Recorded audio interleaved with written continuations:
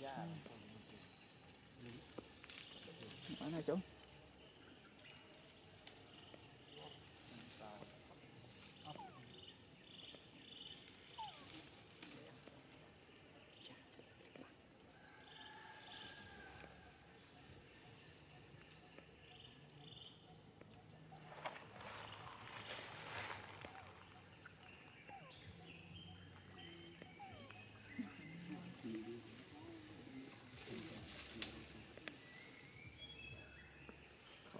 Making sure it's